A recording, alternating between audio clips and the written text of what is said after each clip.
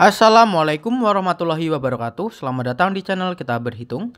Kita mencoba mencari jawaban dari soal berikut di dalam kurung. 3,77 dikurang 0,31 Ditambah 1,34 dikurang 2,91 Kalian harus ingat kita harus mengerjakannya di dalam kurung terlebih dahulu. Nah begini. 3, 3,77 dikurang 0,31 Ingat tanda komanya harus sejajar. 7 dikurang 1 berapa? 6. 7 kurang 3, 4. 3 kurang 0, 3. 3,46 ditambah 1,34 dikurang 2,91. Ingat, negatif dan positif.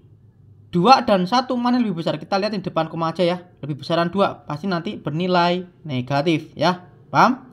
Karena lebih besaran yang 2. Kita balik aja, 1,34 dikurang 2,91 menjadi 2,91 dikurang 1,34. Namun hasilnya tetap negatif. 2,91 dikurang 1,34. 1 dikurang 4 tidak bisa. Kita pinjam depannya ya menjadi 11. 11 kurang 4 berapa? Berapa? 7.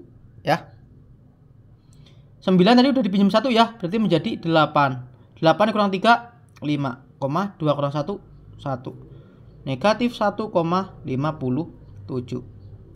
ya berarti soalnya menjadi gimana 3,46 dikurang 1,57 iya betul sekali 3,6 dikurang 1,57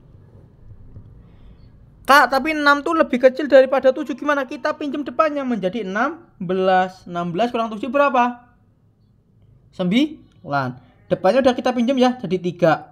3 lebih kecil daripada 5. Gimana? Kita pinjam depannya menjadi 13. Di sini jadi 2 ya. Kan kita pinjam 1. 13 kurang 5 berapa? 8. Ya kan? Koma. 2 dikurang 1. Tadi kan udah dipinjam 1 jadi 2 ya. 2 dikurang 1 1. Berarti hasilnya adalah 1,89